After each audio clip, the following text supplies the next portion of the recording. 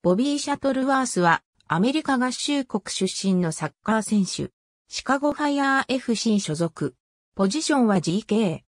ナショナルプレミアサッカーリーグのバッファローシティ FC で短期間プレーした後、2009年6月18日にトライアルを経て US セルファーストディビジョンのニューイングランドレボリューションとフリーエージェントとして契約を結んだ。その後、US セルセカンドディビジョンのウェスタンマスパイオニアーズに短期間レンタル移籍した。2010年5月12日、US オープンカップのニューヨークレッドブルズ戦でニューイングランドレボリューションでのデビュー戦を飾った。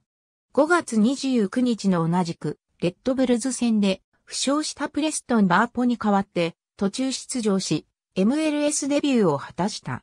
2017年2月15日、フェミ・ホリンガー・ジャンゼンとのトレードで、ミネソタユナイテッド FC に移籍。2019年8月6日、シーズン終了まで US セルチャンピオンシップのサクラメントリパブリック FC にレンタル移籍。2019シーズン終了後にミネソタユナイテッド FC を退団し、2020年1月30日にシカゴファイヤー FC と契約を結んだ。ありがとうございます。